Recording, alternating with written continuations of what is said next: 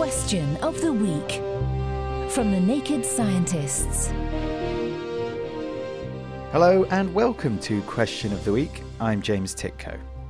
Today's question comes in from listener George. Hi there. Thank you very much for taking my question. I really, really appreciate it.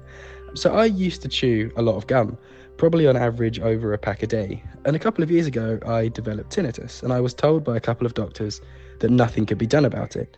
However, when I stopped chewing gum, my tinnitus completely stopped. It vanished about a month after I stopped chewing gum. Why might this be the case? Is there any association between tinnitus and potentially the strength of our jaw? Thanks for writing in, George.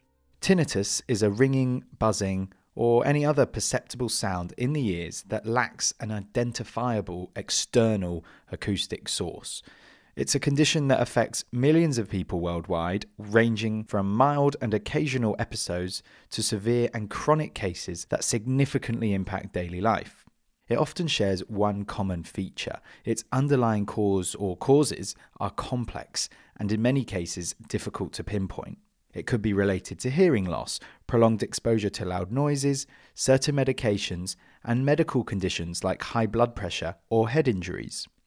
For a subset of people with tinnitus, however, their condition seems to be related to the somatosensory system.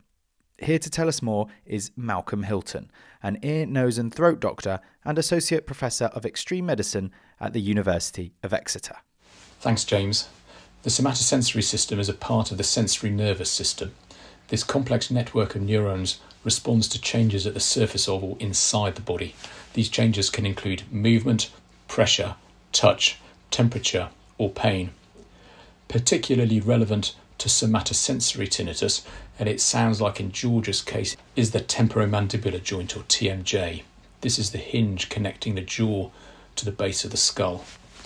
Temporomandibular somatosensory information is transported to the brain by the same neural fibers as project to the central auditory system. This enables the somatosensory system to influence the auditory system by altering spontaneous rates or synchrony of firing among neurons.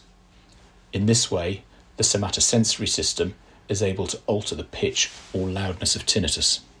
In other words, George mentions his tinnitus becomes exacerbated by chewing a lot of gum, which might be straining his temporomandibular joint.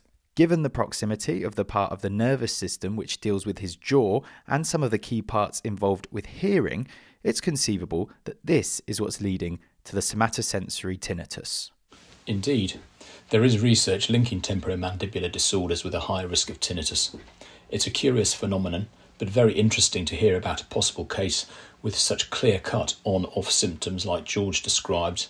There you have it, George. Thank you for getting in touch and thanks to ear, nose, and throat doctor Malcolm Hilton. Join us next time when we're looking forward to answering this question from Kevin. As I understand it, petrol is a fraction of crude oil. Can crude oil be refined without producing petrol? If crude oil cannot be refined without producing petrol, then what will happen to all the petrol when we all drive electric cars? A very good point. Thanks very much for that one, Kevin. Remember to have your say on this and all of our other questions. Log on to the forum, nakedscientists.com slash forum. And be sure to drop us a line if you have a question of your own. It's chris at thenakedscientists.com. Until next time, from me, James Tytko, thanks for listening and goodbye. Question of the Week is part of the Naked Scientists podcast. Look us up online at nakedscientists.com.